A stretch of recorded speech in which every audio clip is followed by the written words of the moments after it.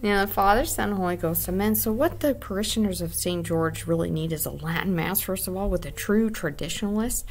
But before that, they really need an American priest, American born priest that upholds the Constitution, the Bill of Rights, and the Declaration of Independence. They need a priest that cares about the little people, not trying to push them into some sort of caste system that's not even um, from American soil. Like, why am I walking to church every day going to daily Mass and they just make fun of me saying that I'm not well spoken, I'm not articulate in my dialect or my speech?